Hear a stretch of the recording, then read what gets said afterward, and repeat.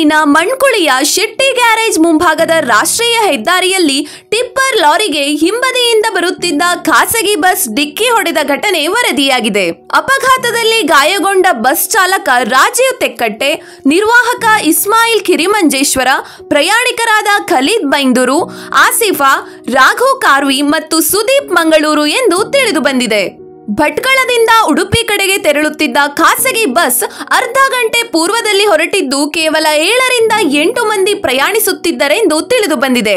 ಇದೇ ವೇಳೆ ಮಣ್ಕುಳಿಯ ರಾಷ್ಟ್ರೀಯ ಹೆದ್ದಾರಿ ಅರವತ್ತಾರರ ಶೆಟ್ಟಿ ಗ್ಯಾರೇಜ್ ಎದುರಿಗೆ ರಿಪೇರಿಗೆ ನಿಂತಿದ್ದ ಟಿಪ್ಪರ್ ಲಾರಿಯ ಹಿಂಬದಿಯಿಂದ ಬರುತ್ತಿದ್ದ ಖಾಸಗಿ ಬಸ್ ನೇರವಾಗಿ ಡಿಕ್ಕಿ ಹೊಡೆದಿದೆ.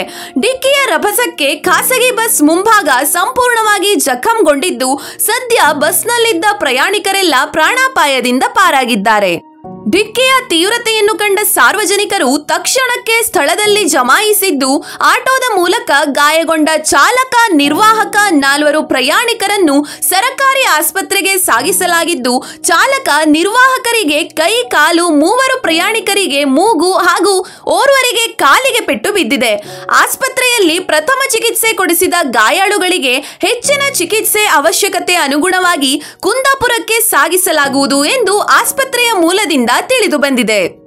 ನುಜ್ಜು ನುಜ್ಜಾದ ಬಸ್ನ ಎದುರಿನಲ್ಲಿ ಅಪಘಾತಕ್ಕೂ ಪೂರ್ವದಲ್ಲಿ ನಿಂತಿದ್ದ ನಿರ್ವಾಹಕ ಅದೃಷ್ಟವಶಾತ್ ಪ್ರಾಣಾಪಾಯದಿಂದ ಪಾರಾಗಿರುವುದು ಆಶ್ಚರ್ಯವೇ ಸರಿ ಎಂಬುದು ಸಹ ಪ್ರಯಾಣಿಕರ ಮಾತಾಗಿದೆ. ಈ ಸ್ಥಳದಲ್ಲಿ ಕೆಲವೇ ಗಂಟೆಯ ಪೂರ್ವದಲ್ಲಿ ಎರಡು ಸ್ಕೂಟಿ ನಡುವೆ ಡಿಕ್ಕಿ ಸಂಭವಿಸಿತ್ತು.